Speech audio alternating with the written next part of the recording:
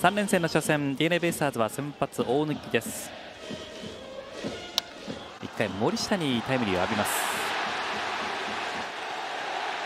阪神タイガースが1点を先制。タイガース先発は伊藤です。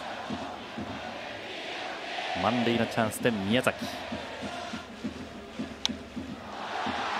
これが2点タイムリーになります。2対 1DNA ベイスターズ逆転です。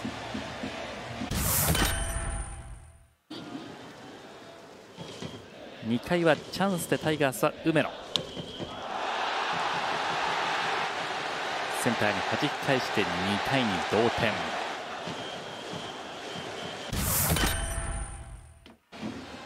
3回の裏 d n a は再びチャンスで宮崎です。ここもセンターに弾き返して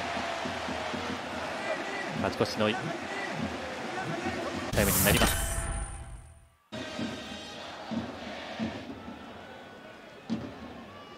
さらに5回は岡留から山本の1本。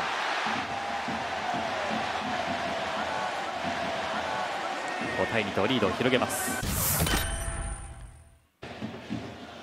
3回以降無失点のピッチングこの大貫。梅野ショートゴロ。今日6回2失点の内容です。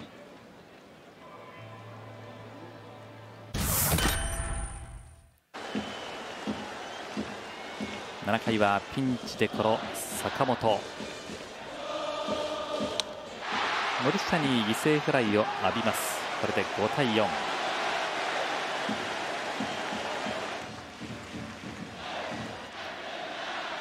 ただその裏。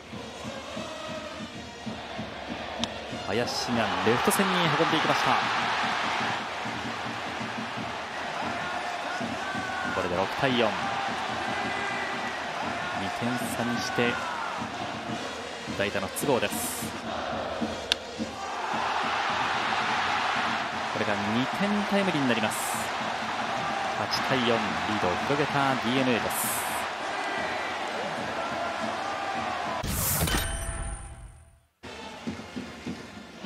8回は阪神6人目漆原から。ここはキャプテン。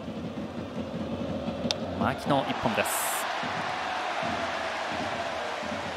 これで2試合連続2桁得点10対4とリードを広げます。